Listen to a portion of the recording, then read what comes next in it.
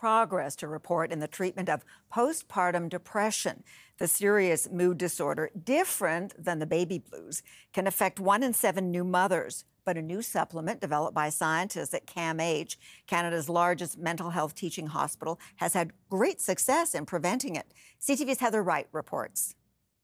For millions of women around the world, the joy of childbirth can quickly give way to despair. Sadness, crying, irritability, anxiety, uh, difficulty with having appetite. Dr. Jeffrey Meyer is a researcher at CAMH and has developed a supplement that can reduce the risk of postpartum depression. It's estimated up to 80% of women experience some sort of postpartum baby blues.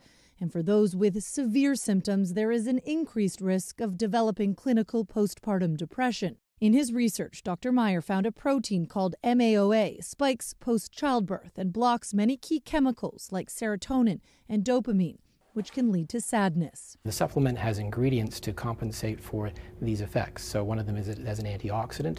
It also has uh, the building blocks of, of, serotonin and norepinephrine, dopamine, these amino acids. In this trial, 66% of those who took the supplement experienced either no symptoms or only negligible symptoms of postpartum blues, with no known side effects. It's a great opportunity, this window of time, which was what the supplement was designed for and uh, is fairly easy to take given it's only four dosings, um, that could really change someone's life.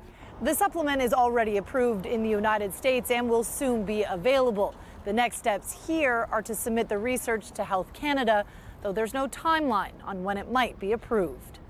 Sandie. Okay, Heather, thank you for this. Interesting.